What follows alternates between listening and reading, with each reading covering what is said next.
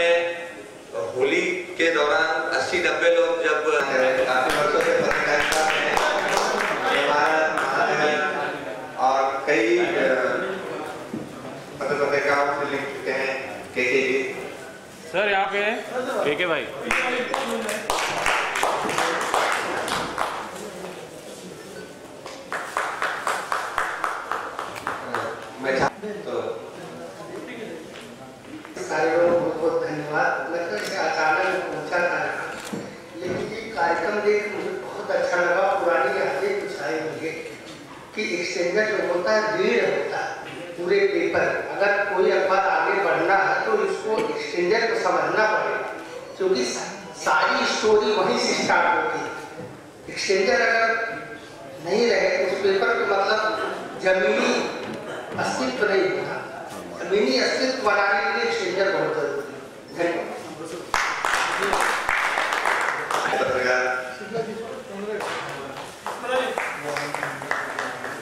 अशोक जी, यहाँ पे।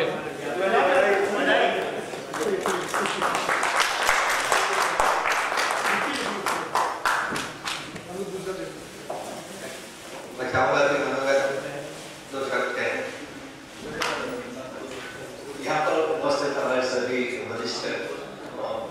कि बहुत अच्छा जैसे मुझे बताया। देखा कि रिपोर्टरों का सम्मान का सम्मान सारे लोग करते हैं, लेकिन जिस तरीके से का सम्मान किया जा रहा है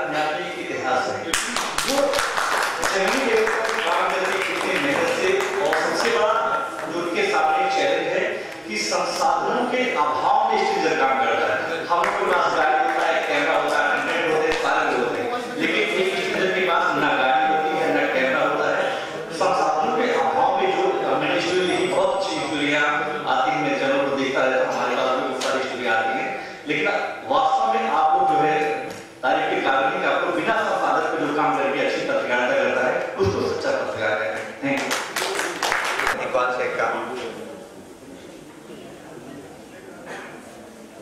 कुछ स्प्रिंकलिंग हो और इनको इंस्पायर हो, जिससे जो स्ट्रिंगर और जो फ्री जर्नलिस्ट है, वो और आगे बढ़े और दुनिया और इंडिया में जो है, उनकी जो है स्ट्रेंथ बढ़े और। इसलिए ये चीज़ को हमने शुरुआत की हुई बड़ी चीज़ तो है कि स्ट्रिंगर को अवार्ड दिया गया है। आमतौर पर अवार्ड जो है मीडिया में एडिटर लेवल के लोगों को दिया जाता है। यानी पहली बार ज़मीन के लोगों को कनेक्ट किया गया है। और ये एक बड़ी बात है अच्छी पहल है। और ख़ासकर मीडिया का ये वो तबका है जिसको अब तक हाशिए पर रखा गया था। तो मुझे लगता है कि बहुत बेहतर शुरुआत है और जो स्टोरियाँ शामिल हुई हैं, वो डिजिटल में, प्रिंट में और इलेक्ट्रॉनिक में सभी मीडियमों में उन्होंने अपनी अच्छी परफॉर्मेंस की है। बहुत उनका सिलेक्शन बहुत स्पेसिफाई किया गया था। तो मुझे लगता है कि बेहतर शुरुआत है और आने वाले दिनों में ये शुरुआत और बड़ा रूप लेगी। अच्छे प्रोफेशनल और ख़ासकर ज़मीनी जर्नलिस्ट ऊपर आएँगे। अजीत सर, मेरा सवाल आपसे होगा कितना मुश्किल होता है सच्चाई से लड़ना? एक पत्रकार जब सच्चाई से लड़ता है, सच्चाई का सामना करता है, कितनी मुश्किल उसको उठानी पड़ती है, क्या कुछ चाहिए निश्चित तौर पर, क्योंकि आज के जो समय में, जिस तरह से मीडिया में जो बड़े घराने का एक वर्चस्व हो चुका है और उसमें ग्रामीण स्तर पर हो, जैसे कि विदर्भ की स्टोरी थी, काफ़ी अलग स्टोरी थी। उसके अलावा मुंबई की भी जो अलग रेलवे स्टेशन की स्टोरी हो एयरपोर्ट की स्टोरी हो तो वहाँ पर काम करने वाला जो अंशकालिक जो संवाददाता होता है या जो फ्रीलांसर जो पत्रकार होता है, वो अपनी जान जोखिम में डालकर संघर्ष करके उस स्टोरी को हासिल करता है। उसके बाद जब वो अपने ऑफ़िस में भेजता है तो ये निश्चित भी नहीं होता कि स्टोरी चैनल पर आएगी कि नहीं आएगी प्रिंट में वो प्रकाशित होगी कि नहीं होगी, ये भी उसकी कोई शाश्वती नहीं होती। ऐसे में वो अपनी जान जोखिम में डालकर किसी भी प्रकार के मतलब लाभ की या किसी भी फ़ायदे की मतलब प्रयास न करते हुए वो अपना काम करता है। निश्चित तौर पर काफ़ी ये जोखिम वाला काम है।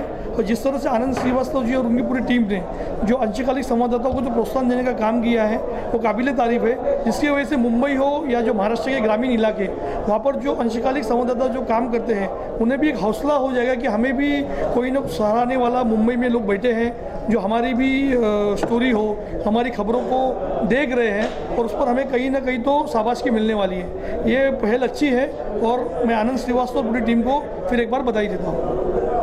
सच बात आपने कहा पत्रकार मतलब हम लोग तो परमानेंट एम्प्लॉय होते हुए भी खतरे में हैं। और खतरा दिखा है आप लोग जानते हैं। ऐसे भी एक्सचेंजर बेचारे मतलब दिन रात अपना घर द्वार छोड़ के परिश्रम करते हैं अपनी जान पे खेल के न्यूज़ इकट्ठा करते हैं उनको सम्मान नहीं मिलता।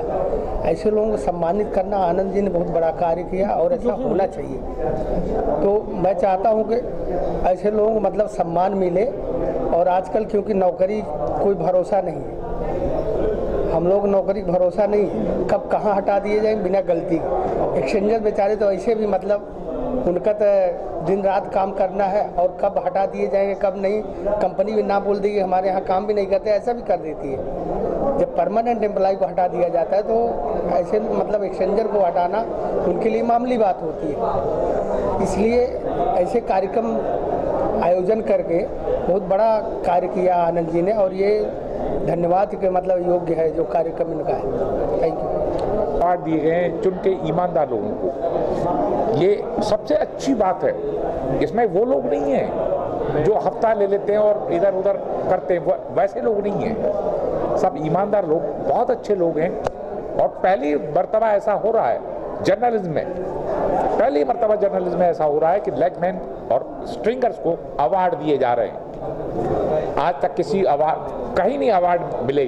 स्ट्रिंगर्स को लेग लेगमैन को अवार्ड नहीं मिले। ये बहुत अच्छा शुरुआत है। हम चाहते हैं इस बात को आनंद श्रीवास्तव और जनाब अली आगे बढ़ाएँ, इसको और आगे बढ़ाएँ और पूरा समारोह बहुत अच्छी तरह, हालाँकि अनौपचारिक था अनौपचारिक था, लेकिन बहुत अच्छी तरह ऑर्गेनाइज था और ये बहुत खुशी की बात है। आप जैसे लाइकमैन हैं। देखिए, आप क्या क्या करते कहाँ कहाँ भटकते हैं? क्या क्या करते हैं? संपादक को सिर्फ़ श्रेय मिल जाता है, संपादक का अखबार में छपता है, इसलिए। या मालिक को श्रेय मिल जाता है, उसके अखबार में छपता है। ये नहीं होना चाहिए। ये श्रेय लेगमैन स्ट्रिंगर्स को मिलना ही चाहिए। बहुत बहुत धन्यवाद। स्क्रैच स्क्रैच इकोनॉमिक से लिए हुए ज़मीन के जुड़े हुए आदमी हैं। लाखों आदमी से हम ज़मीन से मिलते हैं। तो पत्रकार को तो हमने ऐसे देखे हुए हैं कि जो बेचारे लोगों को जो है ना, कि शाम को उसको जाना है ना घर पे तो उनको क्या लेके जाना, उसके लिए सोचते हैं चार चार, पाँच पाँच दिन। ऐसे पत्रकार को देखे हुए हैं कि वो उसके मन में आ गए तो वो उसकी वाचा किसको दिखा नहीं पा रहा है। तो उसको एक मंच देने का जो एक छोटा सा हमने जैसे बताया आपको कि एक बिरयानी के ऊपर धनिया का काम हमने किया है अभी तो कुछ किया ही नहीं है। ये अवार्ड का सिलसिला आगे ये अवार्ड जो है आज अब मेरे कुटुंब के जितने भी मीडिया है ये मेरे फाउंडेशन में बैठे हुए हैं। अभी आपसे ये वट वृक्ष आगे कितना बढ़ता है वो आप देखिए। ये सब जितने हैं उसको कितना वट वृक्ष को बढ़ाना है आपको देखना है। आप ही ढूंढेंगे आप ही करेंगे। इंडिया के कोने कोने में छः लाख पैंतीस हज़ार गाँव है। आठ हज़ार सात आठ हज़ार नौ हज़ार तालुका है तहसील है। छः सौ ने छः सौ छः सौ पचहत्तर डिस्ट्रिक्ट है तीस स्टेट है। इतना बड़ा संविधान ने हमको दिया हुआ जो चीज़ है उसके अगर हम लोग अगर इनको जस्ट स्प्रिंकलिंग नहीं करेंगे इनको इंस्पायर नहीं करेंगे तो फिर किनको करेंगे? आप तो तीसरे पाए हैं इनके। अगर आप शुरुआत नहीं करेंगे तो कौन करेगा? यही हमारी इंस्पायर है यही हमारा एक जो है हमारे क्या, क्या बोलते हैं जिसको अंदर की प्रेरणा है। कि शुरुआत होगी तो आपसे होगी। देश को जागना है तो आपसे जागेंगे।